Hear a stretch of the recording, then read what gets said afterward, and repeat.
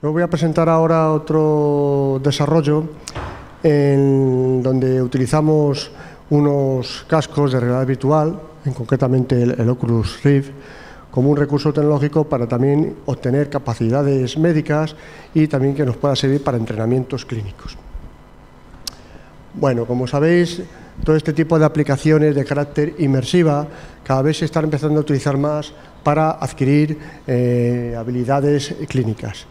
También sabéis que la visión estereoscópica o visualización eh, tridimensional nos facilita, eh, a través de estos dispositivos, crear una ilusión de profundidad de, una imagen, lo que nos da ese carácter de inmersión dentro de esa propia realidad.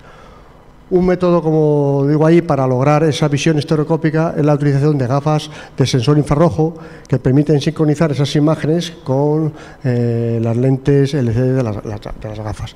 Ahí estamos haciendo, por ejemplo, esto es una cosa que hicimos en Barcelona, aunque la he puesto ahora simplemente de, decoración, pero fue una intervención quirúrgica que hicimos virtualmente, como veis ahí, eh, en tres dimensiones de un abordaje a un tumor eh, cefálico. Bueno, como veis, cada vez se están imponiendo más estos sistemas de visualización estereoscópica con gafas, no solo para simulaciones de tipo quirúrgico, sino también para la docencia y sobre todo de la anatomía. Como sabemos, la realidad habitual pues, es un entorno en lo que nos permite generar una serie de parámetros una serie de configuraciones que permiten modelar un determinado entorno eh, virtual. De esta forma conseguimos esa sensación de realidad. Eh, se suele emplear este sistema mm, para que bueno para que se cree para que se visualice un, entorno más directo de ese espacio físico y para ello pues eso tiene que estar dotado como digo ahí de una, serie de sensores que orienten para que el sistema pueda saber en qué momento nos situamos en qué lugar estamos dónde qué dirección tenemos para de esta manera se, puedan generar esos eh, objetos virtuales. Eh, este tema de la realidad virtual está empezando a tener un gran auge sobre todo en la formación médica y como entrenamientos eh, clínicos, como hemos eh, señalado antes. De esta forma, no solo a los estudiantes, sino también a muchos facultativos, les permiten experimentar y trabajar con sensaciones muy reales que permiten desarrollar pues, esas habilidades y esas destrezas que posteriormente se van a encontrar en la vida real. Sobre todo, por ejemplo, para llevar a cabo un cateterismo o endoscopias, pues son hasta ahora donde más ha empezado a utilizar este tipo de, herramientas eh, virtuales. Bueno, ahí veis también otro ejemplo de cómo podemos manejar. ¿Qué hemos pretendido nosotros con este asunto? Pues hemos hecho una experiencia de crear un quirófano bajo una plataforma de entorno virtual donde el usuario, facultativo, el estudiante, perciba unas situaciones virtuales creadas por el sistema para que las tome como si fueran reales. Y para ello hemos utilizado este dispositivo que se le ocurrió. Hay muchos dispositivos eh, de realidad virtual, muchos cascos, pero bueno, nosotros hemos utilizado este, entre otras cosas, porque es bastante económico y funciona bastante bien. ¿Por qué un quirófano? Bueno, pues la idea de empezar a hacer este experimento con, un quirófano es porque, como sabéis, el quirófano siempre es un área muy restringida en el hospital y bueno, pues necesita una serie de controles y medidas eh, estériles y asépticas que hacen que bueno, pues no se pueda entrar allí con mucha afluencia y mucha gente. Por lo tanto, eh, para la formación pues se hace dificultosa que muchos estudiantes entren en ese, en ese espacio hospitalero. En ese sentido, la utilización de estos dispositivos, mediante los cascos, de esta visión tridimensional, pues facilita un acercamiento y un entrenamiento a lo que va a ser la realidad y que de esta manera pues va a ver el, alumno el espacio donde se va a poder mover y sabe pues cómo son las diferentes partes del quirófano que puede tener ahí, que se puede encontrar y demás. Entonces lo que hemos hecho es crear en principio ese entorno virtual. Hay dos formas, nosotros hemos hecho esto de dos maneras. Por una parte, muy sencilla, simplemente grabando el quirófano. Pero grabando el quirófano con una cámara central y grabando los 360 grados, todo el entorno, suelo, techo, paredes, todo entero. Una cámara se hace un rastreo, eh, un escaneo de toda la sala. Por otra parte, para que cada una de las opciones, de, los elementos que tiene un quirófano tenga cierta funcionalidad, también hemos creado un quirófano en tres dimensiones. Y vais a ver un poco ahora con qué herramienta hemos empleado. Como veis, hoy hemos manejado muchas herramientas. Desde este quirófano virtual que hemos generado, vamos a visualizar a través de los diferentes monitores de la sala una resección endoscópica transnasal de un tumor hipofisal y en concreto de un prolactinoma intraseral.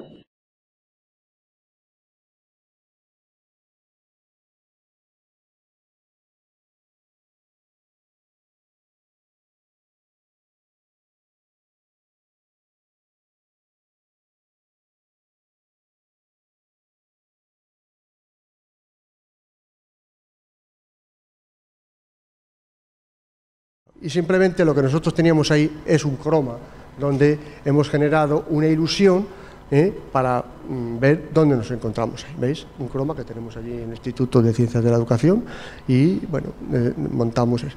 La otra es hacer un, quirófano tridimensional ¿eh? con, desde programas comerciales. Fundamentalmente utilizamos los dos, el 3D+, que ya ha hablado Raúl de él, pero también nosotros utilizamos mucho Maya. Los dos son de Autodesk. Y entonces, bueno, pues mirar algunos ejemplos de cómo hemos ido, a lo mejor por la luz poco, pero todas esas estructuras que veis ahí, todo el entorno, la sala, las puertas, los, los monitores, la luz, la mesa de operaciones, todo es tridimensional y todo se mueve, todo lo podemos manejar. Bueno, ahí veis ejemplos, pantallazos de construcción de ese quirófano. Bien, una vez que tenemos eso, pues ya tenemos, digamos, eh, el entorno virtual generado. Ahora vamos a ver cómo podemos implementar eso y dar esa sensación de inmersión, de, estar dentro de ese, espacio virtual.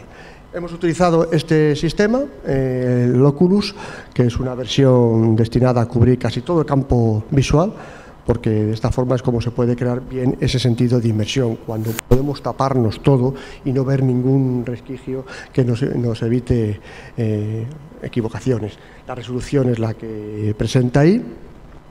El peso es mm, no mucho, es son prácticamente todo de plástico, mm, barato, de 380 gramos tan solo.